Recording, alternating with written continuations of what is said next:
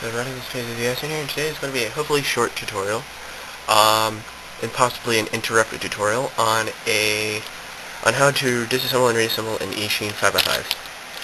Uh, I don't know why, I just really feel like making this, so I'm going to make one. Okay, so, uh, what you're going to need is a 5x5. Uh, it can be assembled or disassembled. It doesn't matter because I'm going to tell you how to disassemble it anyway. And you're probably going to want a plastic bag in case you decide to take a break. I will probably be using this plastic bag as I um, might need to take a homework break. Uh, in fact, I probably will.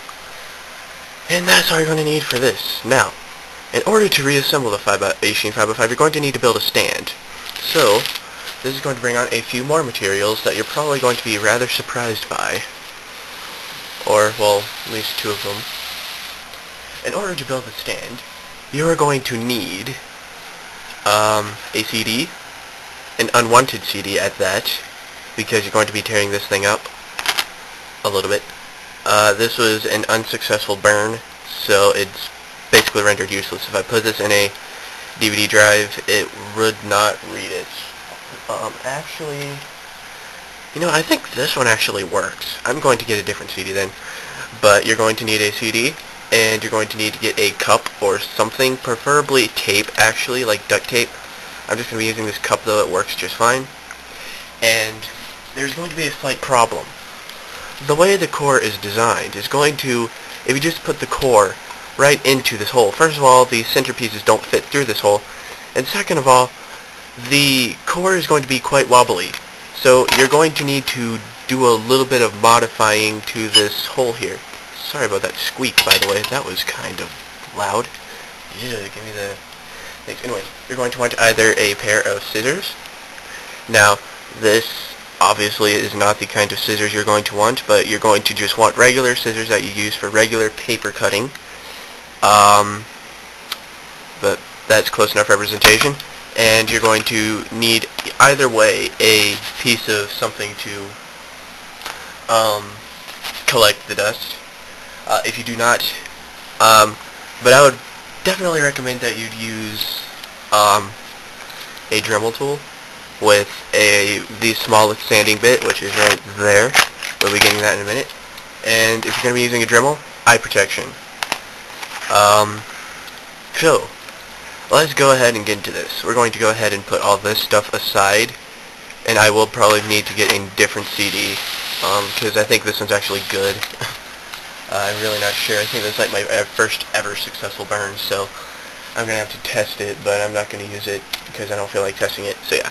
Anyway, what you want to do to disassemble your Eastsheen 5x5, um, it, you don't need a screwdriver. You All you need to do really is just turn either the top layer or the top two layers, whatever you want. I'll just do the top layer. The uh, You want to turn it 45 degrees, and you're just going to put your finger underneath the very middle edge piece and pop it out. And if you do choose to do this, you're going to want to put your finger underneath this piece and pop it out, just like that. Sweet. And then you can go ahead. Wah. Thought it was going to like explode or something right when I did that. Go ahead, disassemble. You know the sad thing is, I actually reassembled this thing. Um, a few weeks ago, and then I brought this thing to school the next day, and a kid was scrambling it way too vigorously and exploded it. And I finally rebuilt it yesterday, and I'm taking it apart again today. That's funny. Okay. Make sure no pieces get away. As you can clearly see, there are a lot of pieces. Now back to what I was saying about the CD problem. As you can clearly see, this does not fit through there. So, I'm actually going to go and get a re uh, really quickly go and run and get a new CD and I'll be back. So, what we're going to do is, again, still will not fit, but this one here was already modded, or already dealt with, and as you can see, I did it with these scissors, so there's a bunch of little scratches and everything, and the reason why I'm actually not using this one is because it's cracked, uh, and I don't really trust it anymore. I'm going to throw it away after I'm done showing you what you're supposed to do. But what you want to do is you see this shiny part. You see that where you see where the clear ends and it starts getting shiny. Essentially where the reflection of the camera starts. You want to get rid of all of this clear plastic up to the shiny part. Um, that way it will fit. Because watch this. It'll fit. And it's stable. It wobbles a little bit, but it doesn't wobble enough to where it will not explode on you while you're building it. So, you just want to get it down to there. And if you must, get it a little more. So, I'm going to throw this one away. And also, as you saw, it had a lot of little bumps and all over it. So I'm going to go ahead and scooch these aside. So if you're using, whoops, this cup is going to be the base of the stand. By the way, this CD is going to sit on it like that. So that way it actually functions. Okay, so uh, if you're going to be using scissors, what you're going to want to do is just put the scissors in between like this, open them, so that they were just a little wider than the hole, and then you're just going to kind of turn it. And if you're using regular scissors, it'll be much easier and you'll immediately start seeing progress. However, that causes two things. One, the way I did it was like this. I gripped it like this and just turned and turned and turned. And it kept feeling like sometimes the CD would warp a little bit and it's just like, ah! I thought it was going to snap the CD right in half right there in my hands.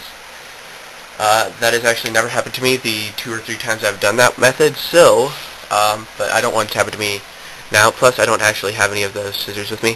So, what I'm going to do is I'm going to go and put this thing on. And we're going to do it the quick way.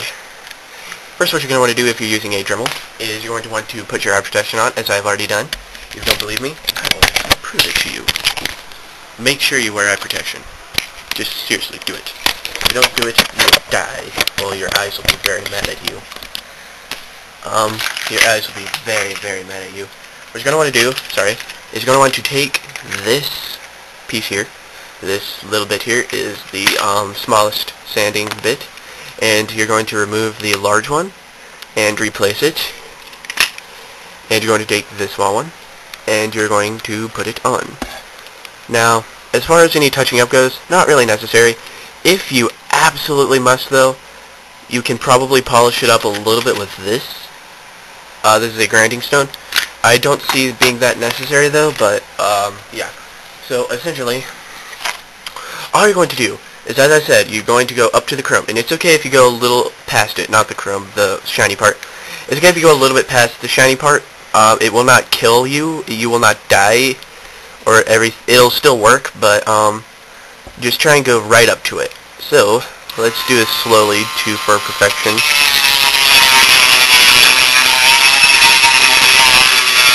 Actually, there. Ah.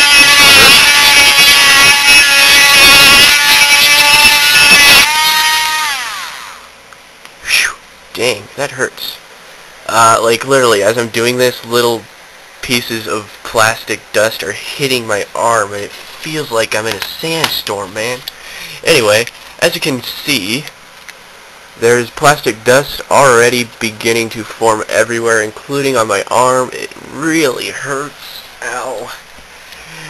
So, obviously, you're going to want to wear eye protection, because if one of those things gets in your eye, man, you are going to be in serious pain. Okay, but as you can see, at this point, we should be able to get this thing in. There.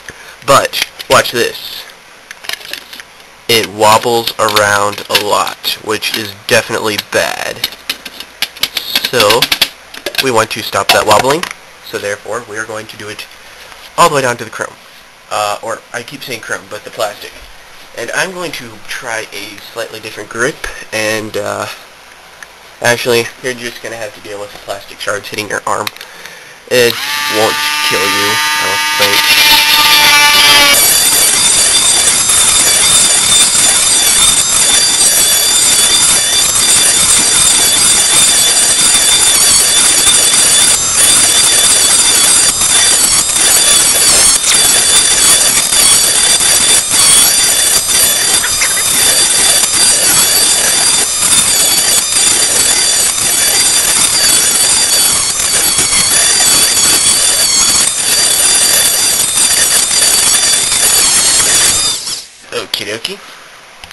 This point, you're going to want to get rid of some of the excess dust on the disc. And peel this melted stuff away. That was fun. Actually, that was really fun. And most definitely, this is a lot cleaner than with the scissors. However, if you don't have a Dremel, excuse me, most likely you will have scissors, so you can just do that instead. Or. But just know that it'll be a little bit more risky as you might break the thing. Uh, you might accidentally snap it in half. I'm Going to go and just touch it up a little bit.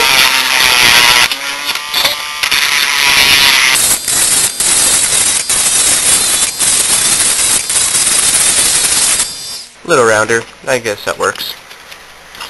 And so after you get rid of all of the plastic dust, um, just kind of wave it, I guess, or something. Maybe, whoops.